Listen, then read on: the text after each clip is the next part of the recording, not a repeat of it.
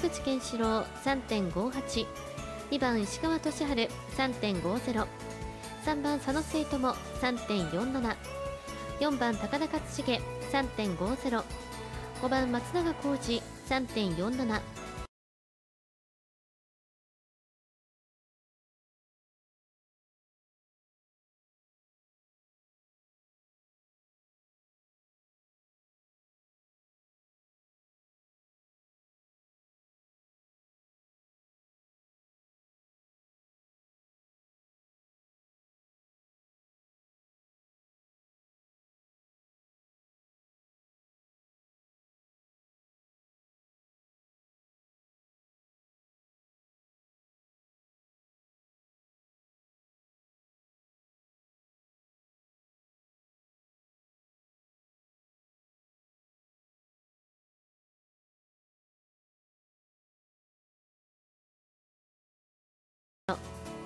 3番佐野末友船橋ハンデゼロ。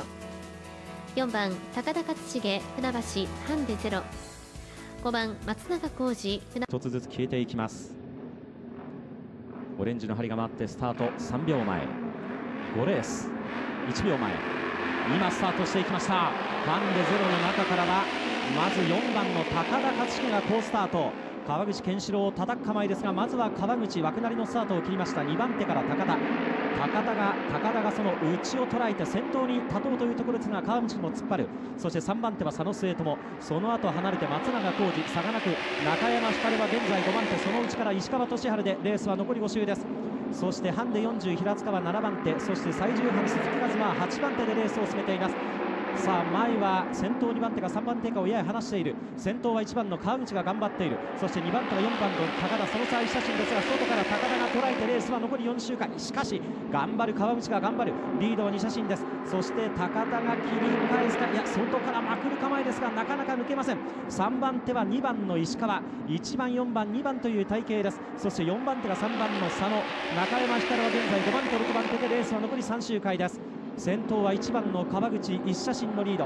2番手は高田。そして3番手が石川です。1番4番2番という体系。そして最重半重半勢からは4番の7番の平塚が現在5番手の一戦で4コーナーから立ち上がりレースは残り2先頭は1番の川口が逃げている。川口が逃げている。そして2番手は石川。そして6番の中山光が一気にここで3番手の一戦。車群を割って7番の平塚も3番手の一戦に加わってくる。さらに8番の鈴木が現在5番手の一戦だ。さあ4コーナーから立ち上がりまもなくブルークラック。残りはレース1周です。ここで先頭変わっている。2番の石川に変わりました。石川が2写真のリード。そして2番手1番の川口頑張っている。外からじわりと7番の平塚さらには内から3番の佐野生とも2番手争い接戦。さらに8番の鈴木もやってきたが先頭は2番の石川俊治今1着でゴールイン。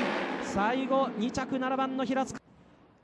とても高配当ですね、えー、2連勝単式2番7番で1万2380円。2連勝複式274700等円。3連勝単式2番7番1番。